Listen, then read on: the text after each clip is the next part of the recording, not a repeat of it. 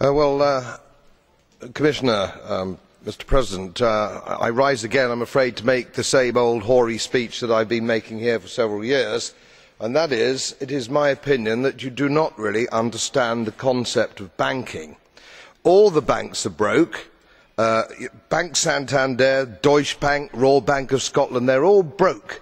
And why are they broke? It is not an act of God, it is not some sort of tsunami they are broke because we have a system called fractional reserve banking, which means that banks can lend money that they do not actually have.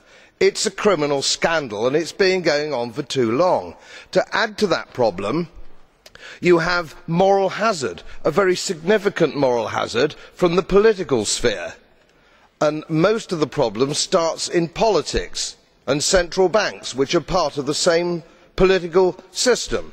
We have counterfeiting sometimes called quantitative easing but counterfeiting by any other name. The artificial printing of money which if any ordinary person did they would go to prison for a very long time. And yet governments and central banks do it all the time.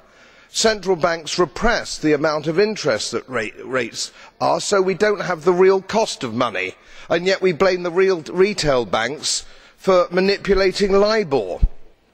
The sheer effrontery of this is quite astonishing. it is central banks that manipulate interest rates commissioner and plus underneath all this we talk loosely in a rather cavalier fashion do we not about deposit guarantees so when banks go broke through their own incompetence and chicanery the taxpayer picks up the tab.